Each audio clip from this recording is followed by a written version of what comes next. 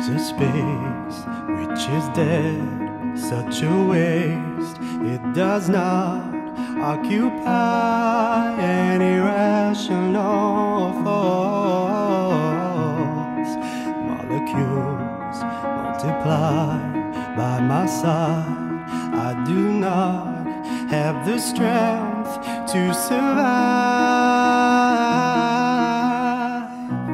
Slave,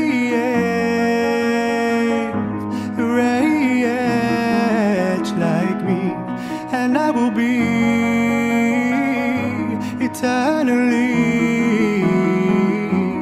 grateful.